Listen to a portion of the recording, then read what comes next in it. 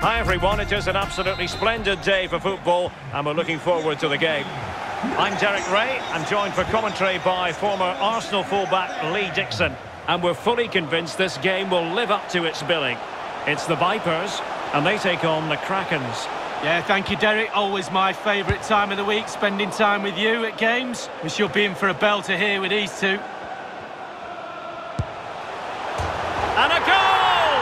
Just what the fans see. The ideal way to begin.